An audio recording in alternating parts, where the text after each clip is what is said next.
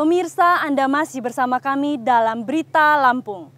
Bagi Anda yang baru bergabung, berikut Berita Lampung pilihan hari ini.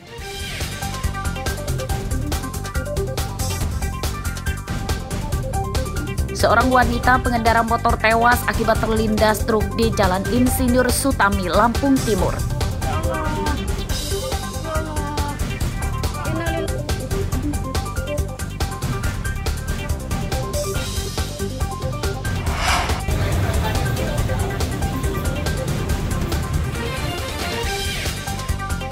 Sebuah tempat pembuatan dokumen palsu di Panjang Bandar Lampung digerebek polisi.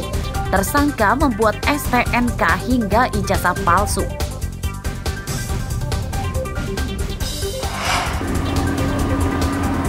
Asap dampak kebakaran lahan masuk ke jalan tol Trans Lampung Tengah. Pengendara kurangi kecepatan untuk menghindari petaka.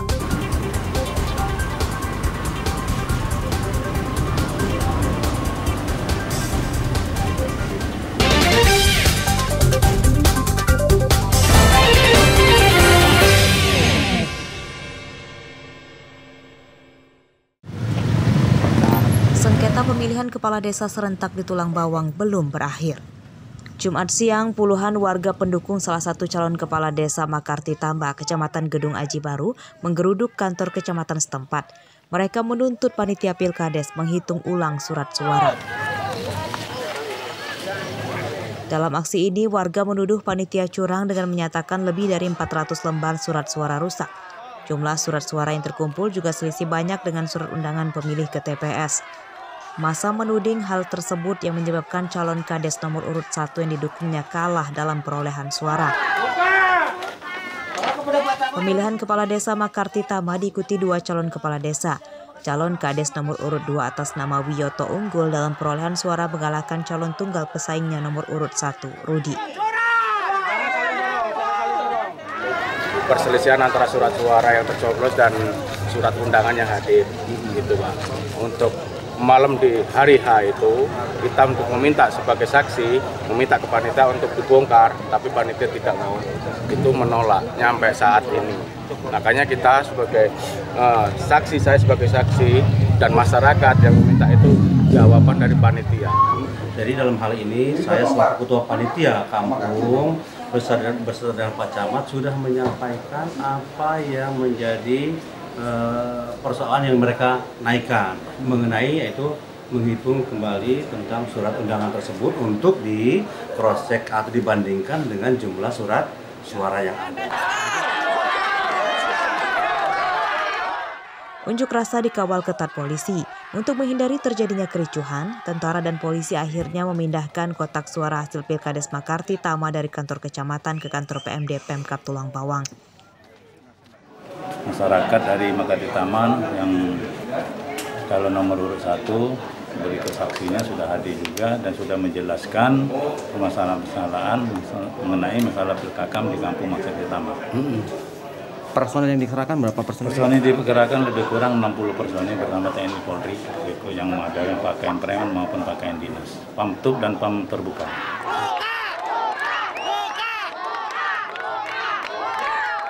Desa Makarti Tama ini jadi salah satu peserta pilkada serentak yang digelar di 67 desa di 14 kecamatan di Tulang Bawang pada 20 September lalu.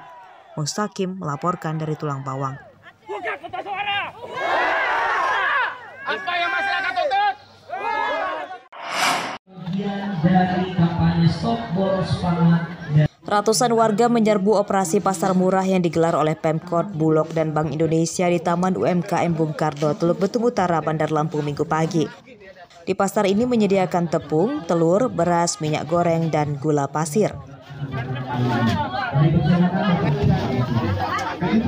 Harga bahan pokok yang dijual lebih murah dibanding di pasar. Di antaranya harga beras kualitas medium di tempat ini dijual Rp10.000 per kilogram, telur Rp26.000 per kilogram, dan minyak goreng Rp12.000 per kilogram. Harga itu rata-rata selisih Rp2.000 lebih rendah dibanding di pasar. di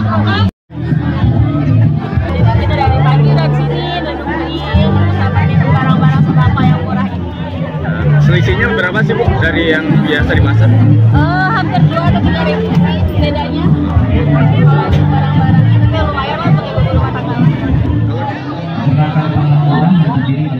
Operasi pasar murah ini digelar sebagai kampanye anti boros pangan. Tujuannya supaya warga tidak panik memborong bahan pokok dengan alasan takut harganya naik atau stoknya habis. Warga diimbau membeli bahan pokok seperlunya dan membeli lagi jika sudah habis. Orang tuanya, kalau sanggup, kalau kasih makan, kita kasih informasikan dari sedini harus bilang makan ya seperlunya aja, bukan perlit ya. Kalau misalnya kurang, ya kita tambah lagi. Jadi nggak kebuang supaya kampanye anti boros ini bisa tersebar ke seluruh Bandar Lampung dan dengan hemat insya Allah bisa mendapatkan rezeki juga buat kita semua ya warga masyarakat. Lampung. Dan kami persilakan Bapak Ibu untuk Operasi pasar murah dalam rangka kampanye anti boros pangan ini hanya digelar sekali saja. Namun, Pemkot Bandar Lampung berjanji akan menggelar operasi pasar murah di lokasi lain dengan tujuan mengatasi kenaikan harga komoditas pangan tertentu. Jeffrey Arifin melaporkan dari Bandar Lampung.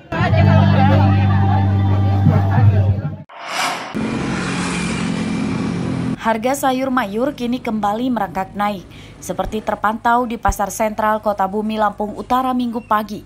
Harga sayur mayur rata-rata naik Rp2.000 hingga Rp3.000 per kilogram dibanding tiga hari lalu. Harga tomat semula Rp3.000 per kilogram, kini jadi Rp5.000 per kilogram. Harga cabai dari Rp25.000 kini jadi Rp30.000 per kilogram. Labu siam dari Rp2.000 kini Rp5.000 dan timun dari Rp5.000 kini Rp8.000 per kilogram. Menurut pedagang, kenaikan harga sayur mayur itu karena harga dari agen juga sudah naik. Penyebabnya diperkirakan pasokan dari petani mulai berkurang dampak kemarau. Ada yang 2000, ada yang 3000. Sudah berapa lama sih Pak Dek? Baru 3 4 hari ini. Kita tahu nggak Pak Dek penyebab naik naiknya harga sayur-sayuran kita nih? Mungkin ya kalau kemarau ini tiga hari ya. Kita tahu nggak sih Om penyebab naiknya ini karena apa?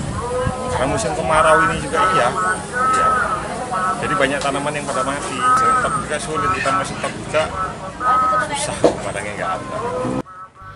Kenaikan harga sayur mayur saat ini belum terlalu memberatkan pembeli. Emak-emak di pasar menyatakan kenaikan harga sayur mayur masih terbilang wajar karena saat ini musim kemarau, para petani sedang tidak banyak yang panen. Cabe, beli bawang, Harganya gimana? pada naik Kalau naik gini pembelian kita gimana Mbak? masih seperti biasa. Standar ya? Ke- harapan kita untuk pemerintah sendiri seperti apa sih? lebih murah lagi lah. Belanjanya lebih turun biar enak ibu-ibunya belanja. Sementara itu, untuk harga beras masih bertahan tinggi. Harga beras kualitas medium masih di kisaran Rp13.000 per kilogram. Harga beras kualitas premium Rp15.000 per kilogram dan harga beras kualitas biasa di kisaran Rp10.000 hingga Rp12.000 per kilogram. Ardio Hapa melaporkan dari Lampung Utara.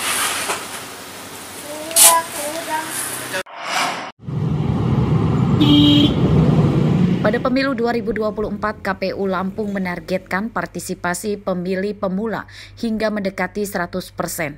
Karena jumlah pemilih pemula di Lampung mencapai 18 persen dari jumlah keseluruhan daftar pemilih tetap atau sebanyak 700 ribu lebih pemilih. Untuk menjaring target pemilih pemula, KPU gencar menggelar sosialisasi ke sejumlah lokasi kampus dan sekolah. Hal itu karena banyak pemilih pemula atau yang disebut generasi Z yang belum mengetahui tata cara pemilihan.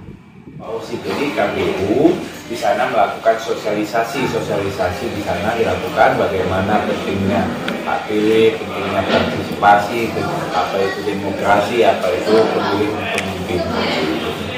Nah, tujuannya pertama memang lagi-lagi saya buka di awal generasi apa namanya Z ini kan ada di Bandar Lampung ini sesuai dengan DPT ada 18 persen.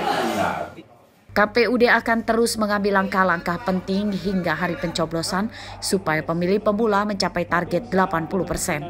Arsadi Saputra melaporkan dari Bandar Lampung. Pemirsa, informasi tadi sekaligus menutup perjumpaan kita pada pagi hari ini. Saya Iin Hermayani beserta seluruh kru yang bertugas berterima kasih. Selamat beraktivitas kembali. Sampai jumpa.